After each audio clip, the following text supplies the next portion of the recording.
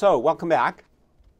What I'd like to do in this part is to give you a little sense of a historical perspective on public health, because it's important to really understand what public health is and what it does.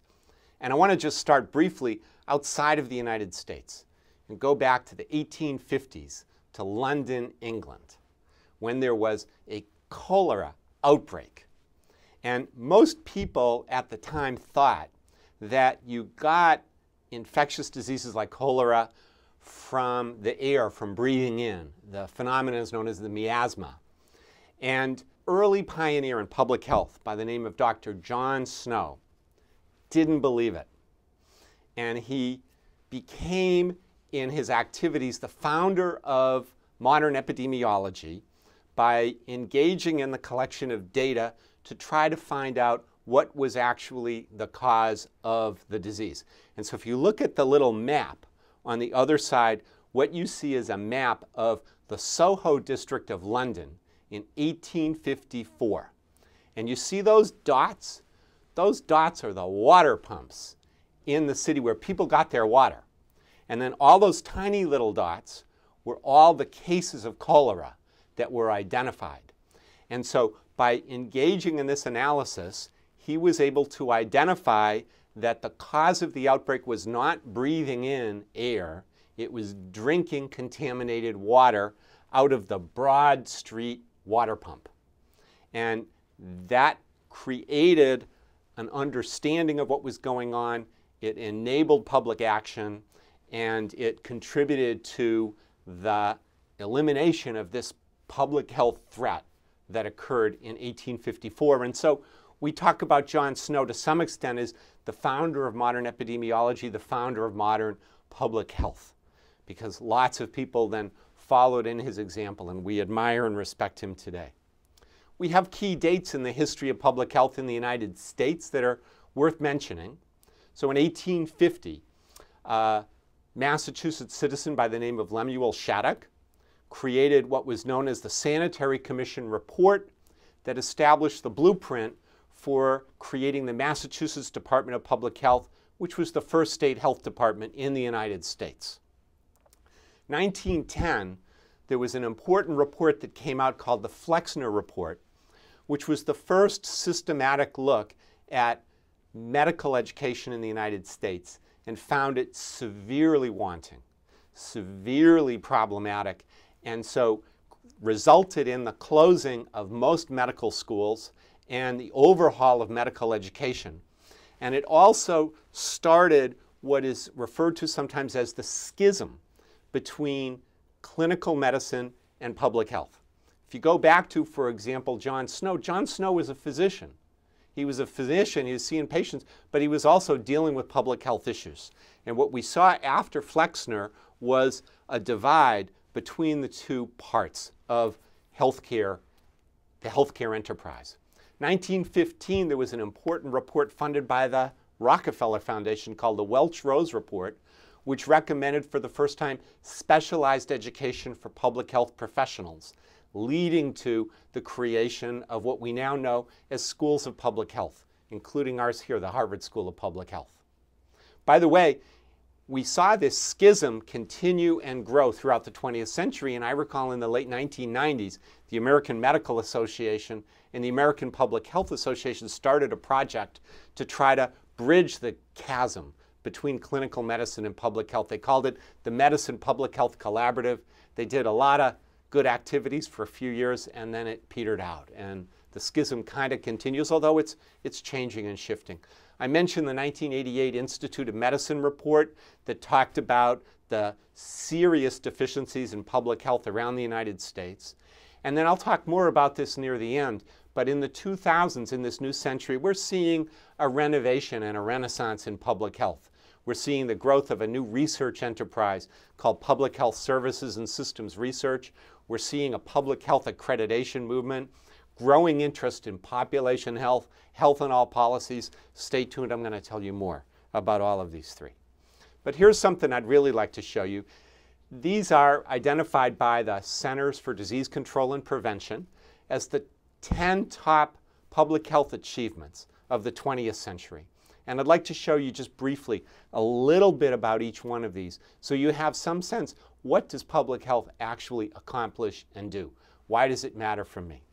So the first one is immunizations and vaccinations. If you can look at these two tables in front of you, what you can see is early in the century and in our new century, about 100 years later, the extraordinary drop in cases of different kinds of childhood diseases, smallpox, polio, other kinds of viruses, have either been eliminated, like polio, or significantly diminished, and that is because of immunizations and vaccinations, and deaths have plummeted, as you can see in the table.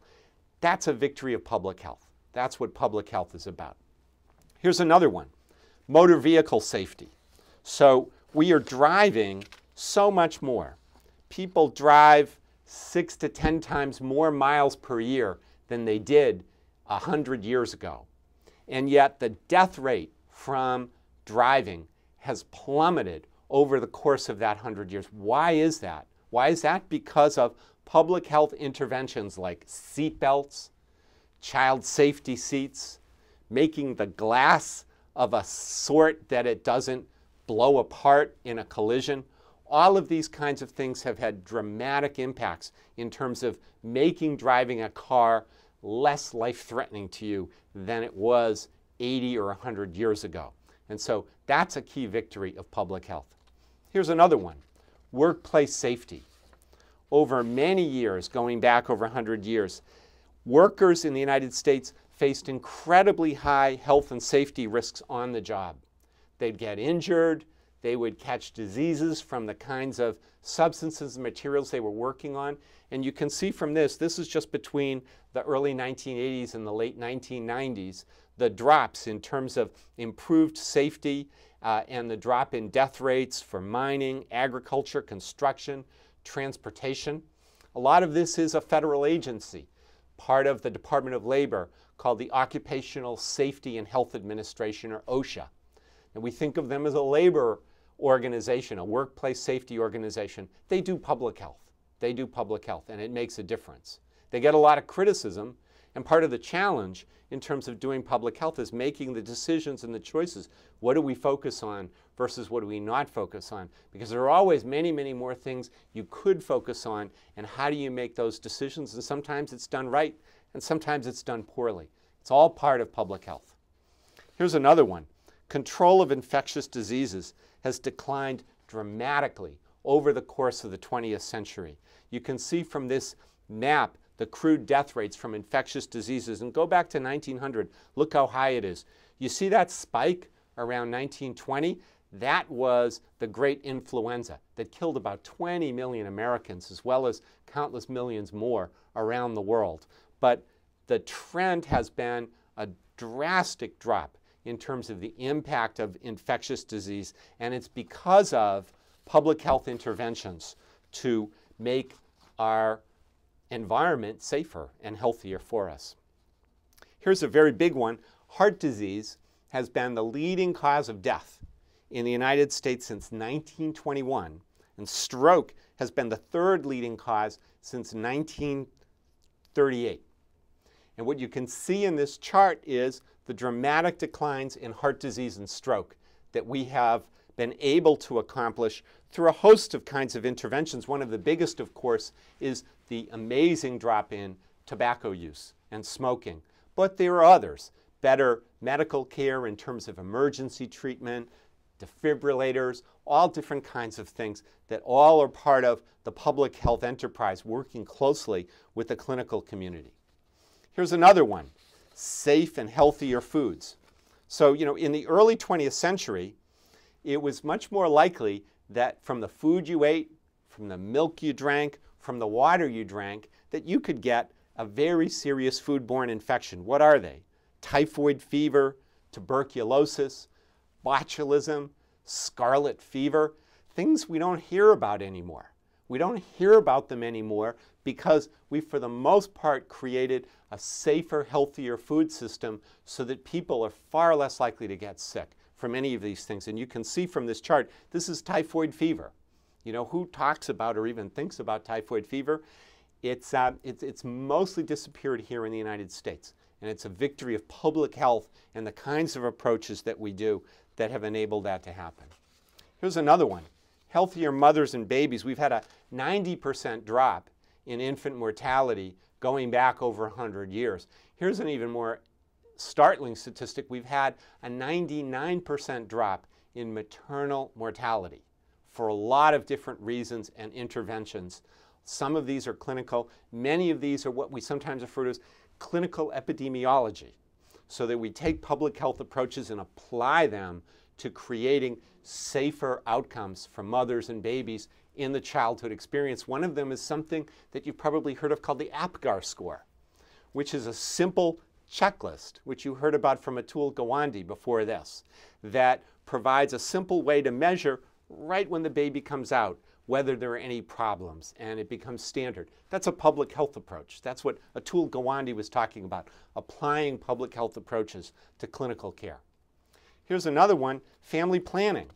We don't necessarily think about that too much, but that is an important part of creating a healthier society because the truth is smaller families and longer intervals between births contribute to the better health of children, better health of their mothers, and uh, better social and economic status for women. And so family planning has been the tool and the way that we've achieved this. Okay? Fluoridation of drinking water. So we've had a major decline in cavities, or what's known as dental caries, which is a disease. And we have significantly achieved that since the discovery of water fluoridation in the 1940s. This is still controversial. There are a lot of folks out there who get very upset and angry about fluoridating the drinking water supply, but it has had a dramatic impact in terms of improving oral health for the entire population. Then the last one I want to mention is just tobacco tobacco as a health hazard. And you can see starting 100 years ago, we were in a much better shape because so few people actually smoked cigarettes. And over the 20th century, we saw an explosion peaking in the 1960s, around the time that the US Surgeon General released a landmark report in 1965 on smoking and health that really started and launched and kicked off in a serious way the national anti smoking movement that has now resulted in a significant drop in tobacco consumption. We're seeing this now across all developed countries. All developed countries around the world are seeing declines in smoking, and unfortunately, as smoking declines in the developed countries, it's increasing at an even faster rate than the declines increasing at a faster rate in the underdeveloped countries. But this has been a significant major public health achievement. By the way, these are the CDC's top 10. If I were doing the top 10, I might throw a few other things in here as well. I would throw, for example, lead in the environment as a huge public health achievement. We have seen dramatic drops in the average level of blood, which has a direct impact on a child's IQ because of eliminating lead in paint, eliminating lead in gasoline, eliminating lead in cans, the soldering of cans. Major public health. So these are the CDC's top 10, and I think they give you a good sense of what public health tries to do, what it's focused on, and how it does its work. So more to come.